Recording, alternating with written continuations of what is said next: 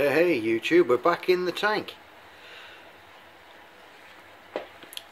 Everyone seems to be settling in now, okay? But I just thought I'd show you uh, a little addition that I've got to my tank.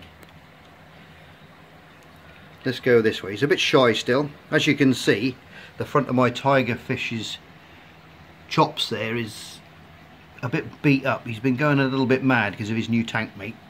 He's a little bit spooked of him. Mr. Paroon Shark there, he's got a bump on his head too. But he does that without anything else in the tank. Mr. One-Eyed Arowana, growing well, apart from his eye. Love him. Who else have we got? Right, let's go down here. oh, where's he gone? There's Mr. Bichir, hiding. Mr. Pleck, little Dyson the Pleck. And here he is up here. Whoa, look at that guy. It's a redfin giant gourami called Bubbles. I acquired him from a, a friend of mine that comes and buys coral frags from me. Help the way you. And um, and he, I've always I've always wanted one, and he said to me, uh, I might know a guy that wants to sell one and as it happened he did. He's a little bit ragged. His fins are a bit ragged where he's uh, where he caught the fish and he actually brought it around to me so. But he's a beautiful fish. He's had his breakfast today. He's had his uh, he's had some hikari beans which he likes which his old previous owner used to feed him. I've got the power heads turned off at the moment or one of them because the uh, it does blow things around a bit in here.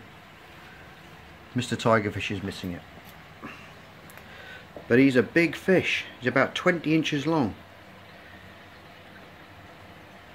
As you can see Mr. Tiger is a little bit skittish still. Or maybe he's just hungry. Who knows?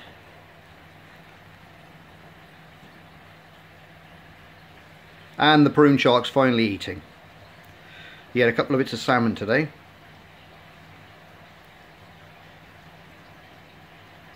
coming to say hello now. Let's go and say hello to him.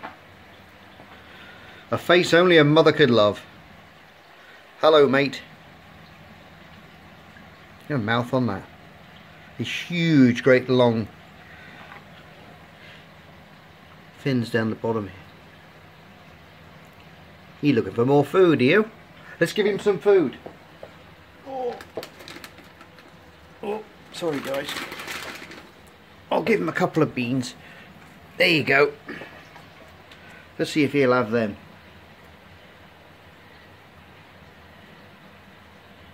You don't like them, right? No?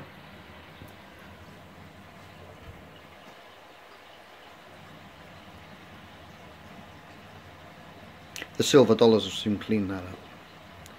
They'll clean them up. And the tiger actually eats a few sometimes. He'll... Oh, here he goes. He had one. Or did he just... No, he just took some oxygen from the surface. Some air. Here goes the dollars. The cleanup crew's got got the scent. well, if you like my videos, could give them a thumbs up, a like, and uh, you can share and subscribe. It'd be fantastic. If you want to hear anything or anything that uh, you might need to know about setting up aquariums or um, well anything anything aquarium related whether it be marine or um, or tropical I've kept, I keep both I've got another fish room which is uh, which is a complete coral outfit which I'll uh, show you on another video if you want to see it let me know okay over and out. Bye for now